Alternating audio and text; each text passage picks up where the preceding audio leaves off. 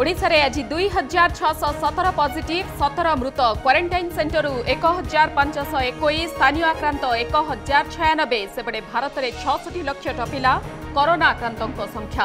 ଗତ ଚବିଶ ଘଣ୍ଟାରେ ଚଉସ୍ତରୀ ହଜାର ଚାରିଶହ ବୟାଳିଶ ପଜିଟିଭ୍ ନଅଶହ ତିନି ମୃତ। ଭୁବନେଶ୍ୱର ମଞ୍ଚେଶ୍ୱର ବରିମୁଣ୍ଡ ଅଞ୍ଚଳରୁ ବିଧାନସଭାରେ ଖଣି ଦୁର୍ନୀତି ତାତି ଶାସକ ବିରୋଧୀ ମୁହାଁମୁହିଁ ଖଣି ମାଫିଆ ଓ ଅଫିସରଙ୍କୁ ଟାର୍ଗେଟ କରି ସରକାରଙ୍କୁ ଘେରିଲେ ବିରୋଧୀ। ବିଜେଡି କହିଲା ସବୁ ଗାଇଡଲାଇନ୍ ଅନୁସାରେ ହୋଇଛି। କୋଭିଡ ନିୟମକୁ ଉଲ୍ଲଂଘନ କରି ଲମତାପୁରରେ ଫୁଟବଲ ମ୍ୟାଚ୍ ଘଟଣା। ନ୍ୟୁଜ୍ ସେଭେନରେ ଖବର ପ୍ରସାରଣ ପରେ ଆକ୍ସନ୍ ମୋଡ୍ରେ କୋରାପୁଟ ପୋଲିସ। ତଦନ୍ତ ରିପୋର୍ଟ ଦେବେ ଜୟପୁର ଏସ୍ଟିପିଓ ଅତିଥି ସାଜିଥିଲେ ସ୍ଥାନୀୟ ଥାନା ଅଧିକାରୀ।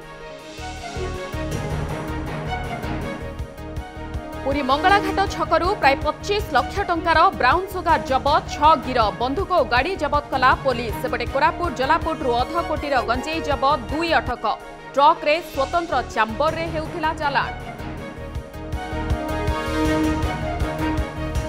ଋଣ ଟଙ୍କା ଶୁଝିବାକୁ ବ୍ୟାଙ୍କ ଲୁଟ୍ ଭୁବନେଶ୍ୱର ମଞ୍ଚେଶ୍ୱର ବରିମୁଣ୍ଡ ଅଞ୍ଚଳରୁ ବ୍ୟାଙ୍କ ଲୁଟ୍ ଘଟଣାରେ ବଡ଼ ଖୁଲାସା। ଲୁଟେରା ଟୁନାକୁ ଗିରଫ କଲା କମିଶନରେଟ୍ ପୋଲିସର ସ୍ପେଶାଲ ସ୍କ୍ୱାଡ୍। ଦଶ ଲକ୍ଷରୁ ଅଧିକ ଟଙ୍କା ଓ ବନ୍ଧୁକ ଜବତ।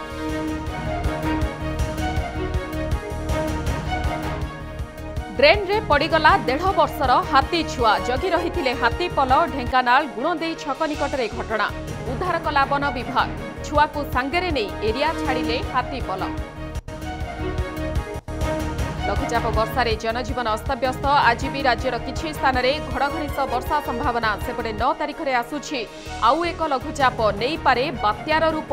ସତର୍କ ରହିବାକୁ ଜିଲ୍ଲାପାଳମାନଙ୍କୁ ନିର୍ଦ୍ଦେଶ।